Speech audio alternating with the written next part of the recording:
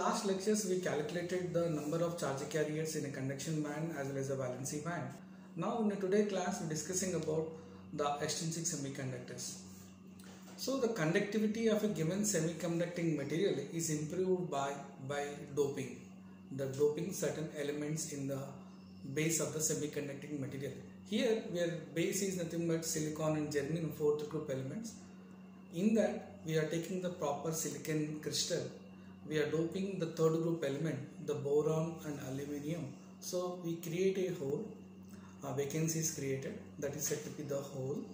The majority number of charge carriers in that category is number of holes so it is set with a p-type. The same silicon crystal is doped with the fifth group element arsenic, antimony, bismuth. The majority number of charge carriers are electrons then it is said to be the n-type material. So by doping certain elements the conductivity of a given semiconducting material is increased. And also the conductivity is changes with respect to the temperature. These are all the parameters we are learning in this particular video lecture. Now this extrinsic semiconductors i'm writing extrinsic nothing but impure the extrinsic semiconductors. Here by doping. So it divided into the two categories. One is p type or n type. The p type is nothing but we are taking a silicon crystal we are doping third group elements. The majority number of charge carriers are holes. Whereas in the case of n type we are doping the fifth group elements the majority number of charge carriers are electrons. If you look at the structure of a base of a silicon crystal, the silicon consists of four electrons. So this electron and this and this. So one more silicon electrons, here four electrons, they get covalently bonded. They bonded with a covalency. So all the electrons are shared here. Now in the silicon crystal, I am doping let me say the fifth group element here let me take i'm going to go for the entire i'm doping the fifth group element. So fifth group element consists of five electrons. So one electron gets shared here one electron gets shared here one electron gets shared here one electron gets shared here and one more electron will be present at the outside the orbital let me say here one electron is present here. This is the extra electron. I'm writing as a electron. This electron loosely bonded to the atom. This electron is loosely bonded to the atom.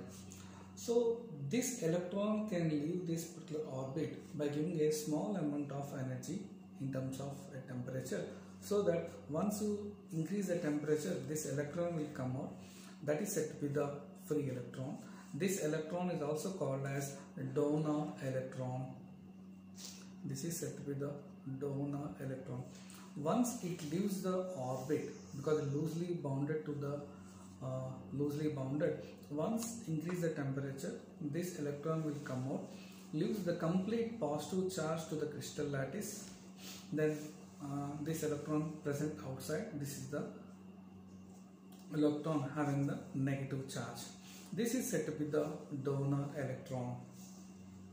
If you look at the uh, band diagram. This is the valency band. This is the conduction band. This is the intrinsic fermi level. So now there are in a crystal lattice if you dope the number of fifth group elements so the more number of electrons will be there so which is said to be the n-type material.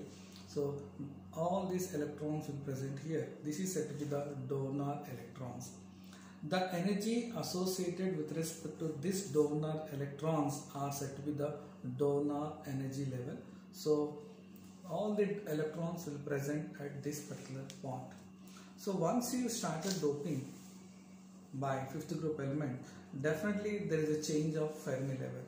This Fermi level shifts to the center to this particular point. This Fermi level is changes here because of the concentration. Let me see now. At T is equal to 0 Kelvin, all the electrons I can say free electrons are donor electrons present at the donor energy level. So once you increase the temperature above the room temperature above T is equal to 0 Kelvin, these donor atoms are moving to the conduction band. So these donor atoms get donor electrons get ionized so that that Fermi level exactly shifting to the center. So now the extrinsic case the Fermi level lies between EC and ED. So we can say we can calculate is it exactly half or not we have to calculate. So here how to calculate where is the position of Fermi level. So we have to follow the previous methodology to calculate the number of charge carriers in an intrinsic semiconductor. So let us recap or recall our lecture what we studied in the intrinsic semiconductor. We have calculated the how many number of density of states available in the conduction band, how many number of uh, electrons are going to be occupied by using the probability distribution function. We calculated the density of charge carriers in a conduction band. Same procedure we have to follow here. So, how many number of density of states are available in the conduction band? Then how many number of donor atoms are available in the energy level? If you equate this and this, so we can calculate the position of Fermi level. So with respect to this idea, I'm plotting one second. So this is the valency band. This is the conduction band. And I'm writing this is the donor energy level. All these donor atoms are here. This is said to be the donor electrons. Now, how many number of density of states are available here? We have to calculate first. So the same procedure we have to follow here. So number of density of states, what is the E plus DE? So this is within the width. DE, how many number of density of states are available here? So that these electrons will occupy this particular density of states above the zero Kelvin. So the density of states available in this particular line, I will write here the density of states. So here the density of states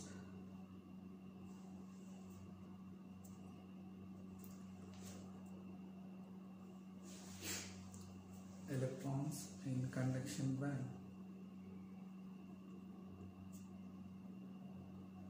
So n is equal to 2, the same expression. 2 pi I am talking about electrons. So m star kt by h square whole to power of 3 by 2 exponential minus ec minus ef by k b t. This is the first expression the density of state the number of donor atoms available in the energy level I'll write here the density of ionized donors can be written as END the number of donor atoms into exponential minus ED minus EF by KBT. This all the equations can be obtained by using the statistical probability methods. If you equate this and this, if you equate equation 1 and equation 2, we'll get the position of Fermi level. If you equate both this, you will get the position of Fermi level lies between EC, EF it lies between EC plus ED by 2 in a extrinsic semiconductor that is N-type. So I'll do the complete equation for this.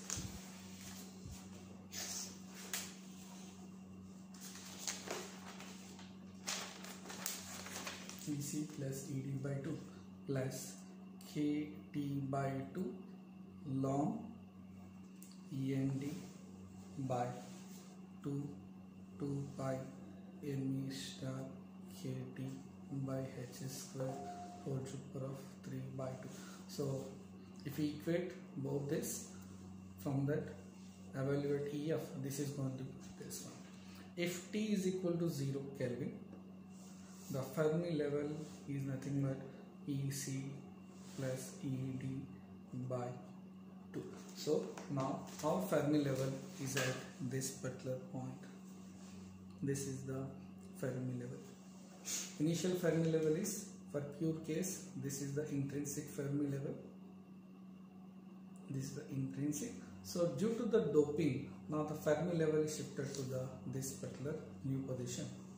Intrinsic Fermi level. If we substitute this equation 3 in equation 1 in the place of EF if we substitute this EF 3 in 1 if we substitute the value of 3 in equation 1 you get the number of charge carriers in a conduction band. Is given by 2 nd whole square of half 2 pi me star kt by h square whole square of 3 by 2 exponential minus uh, exponential minus ec minus ed by ec minus ed by k by t. So this is the number of charge carriers in a extrinsic semiconductor nothing but e type the if you follow the same procedure if you follow the same procedure for p type material.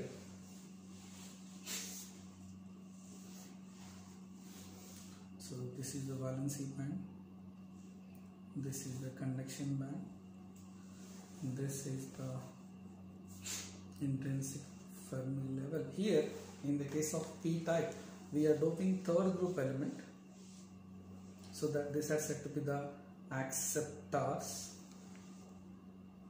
this is said to be the acceptors let me look at the graph.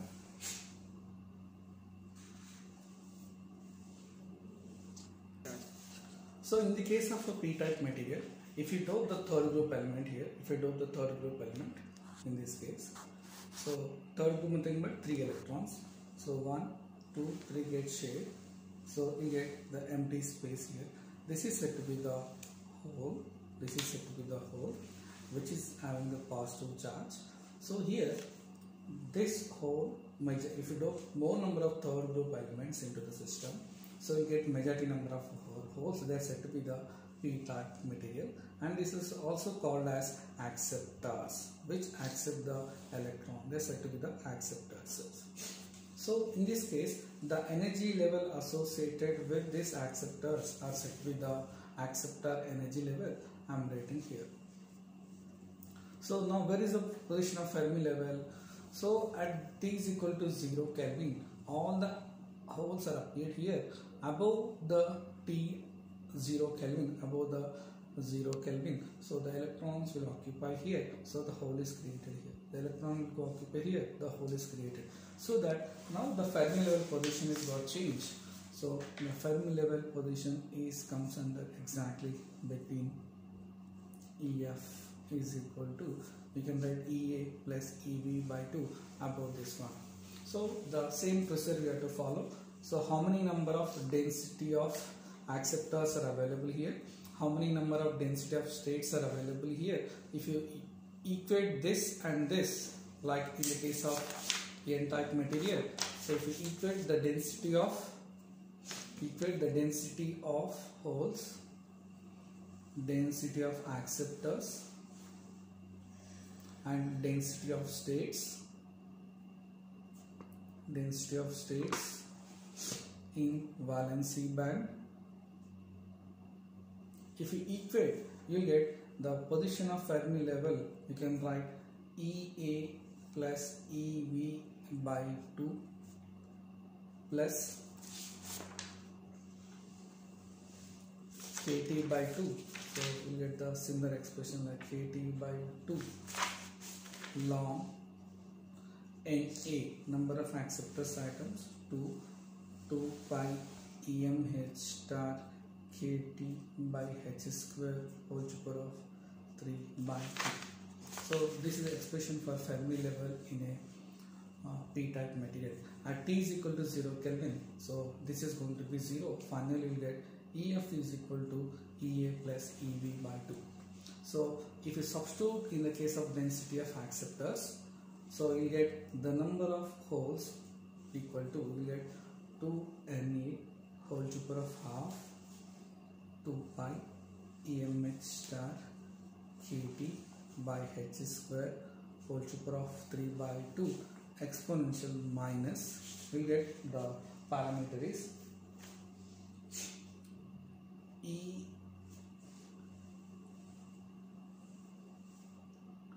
so you get ea minus eb by kbt so this is the expression for the number of holes in a valency band